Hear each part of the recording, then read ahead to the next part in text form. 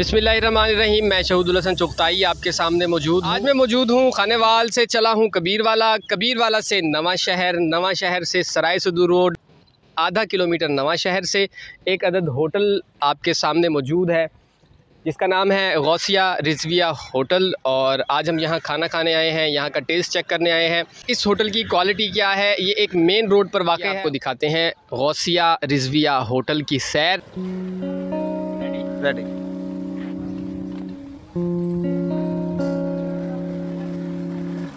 हाजी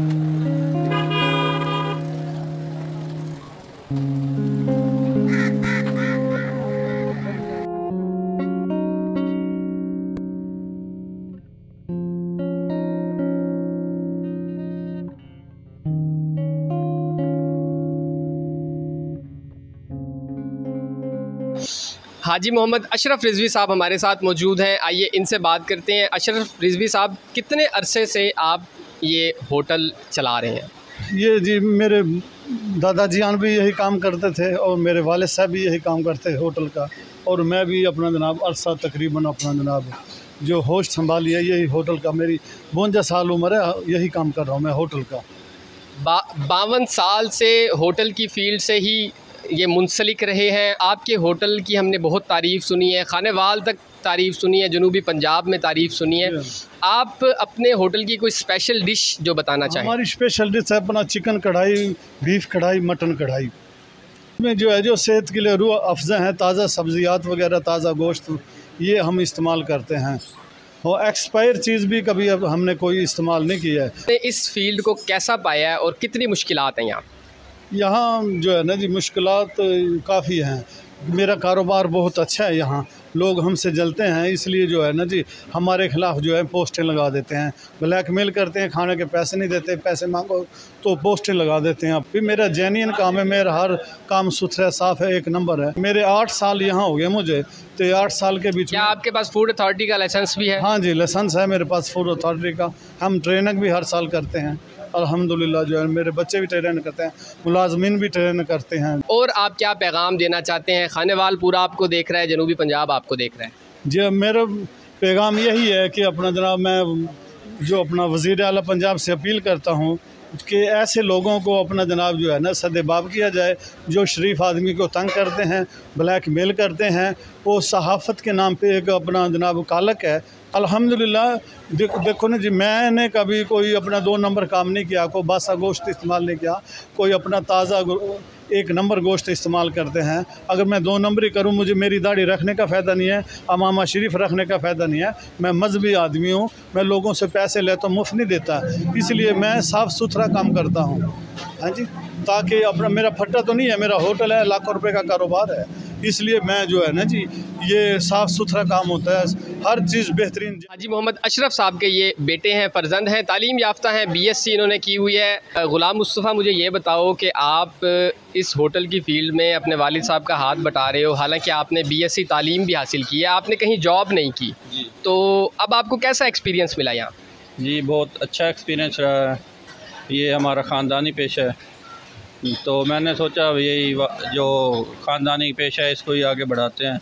इसमें मज़ीद तब्दीलियाँ लेके आते हैं। कस्टमर्स को अच्छी से अच्छी और हेल्दी फ़ूड फ्राहम करते हैं। और ये रिज़्क़ हलाल कमाने का भी बहुत अच्छा ज़रिया है। गुलाम मुस्तफ़ा मुझे एक दिल की बात आपसे पूछना चाहता हूँ कि अगर आपको कभी नौकरी का मौका मिलता बीएससी के बाद और आपको यहाँ कारोबार का वो दोनों में से किसे चूज़ करते हैं मैं तो इसी कारोबार को चूज़ करता भाई बहुत अच्छा खाना है कोई मसला नहीं है।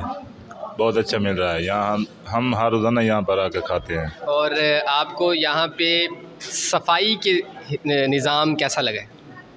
वो तो आपने अपनी आँखों से देखा लेकिन हम पहले भी यहाँ रहते हैं। बहुत अच्छी सफ़ाई होती है यहाँ पे। कोई मसला नहीं है सफ़ाई का किसी किस्म का भी। डाइनिंग हॉल मौजूद है और यहाँ ओपन सेटिंग भी है। देसी टाइप एक टच दिया गया है तो यहाँ पर एक दोस्त खाना खा रहे हैं बैठ के। आइए इनसे बात करते हैं कि आपको खाने का मैार कैसा लगा? है बहुत अच्छा है बहुत टेस्टी है यानी कि। खुश और आप क्या पैगाम देना चाहते हैं? आप भी जो मैं भी खा रहा हूँ बहुत अच्छा है।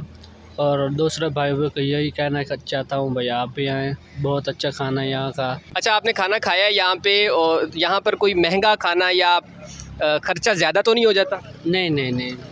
यानी कि फुल रेट पर ऐसे जो जो भी मर्ज़ी ले ले उसी रेट पर मिल जाता है।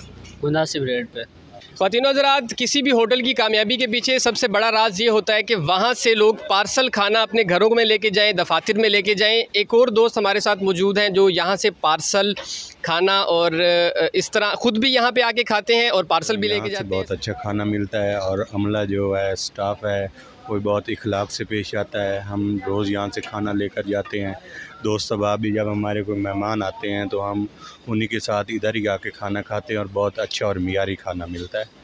अच्छा सर जब आप यहाँ से पार्सल लेके जाते हैं और ख़ुद भी खाते हैं तो यहाँ पर रेट्स कैसे हैं खाने के? कीमत क्या है? कोई ज़्यादा पैसे तो नहीं ले लेते ये होटल वाले आप? सर जिस हिसाब से महँगाई है उस हिसाब से अगर देखा जाए तो बहुत मुनासिब रेट है बड़ा। जिस तरह हाजी साहब जो है ना बहुत मीरी खाना देते हैं, उसके बाद अपना क्वालिटी भी होती है और रेट भी जो है वो भी बहुत मुनासिब देते हैं। सर आप भी आएँ और आप भी यहाँ पर खाना खाएँ, यहाँ बहुत अच्छा खाना मिलता है। रिजविया रेस्टोरेंट पे मैं मौजूद था, हमने यहाँ खाना खाया, चाय पी हाई साहब बड़ी मिलनसार शख्सियत हमारे साथ थे। हाई साहब, आप कोई पैगाम देना चाहते हैं जो आप ऑफ़ द रिकॉर्ड मेरे साथ डिस्कस कर रहे थे, वो ज़रूर दें ताकि आवाम की आगही और शूर में इजाफा हो सके।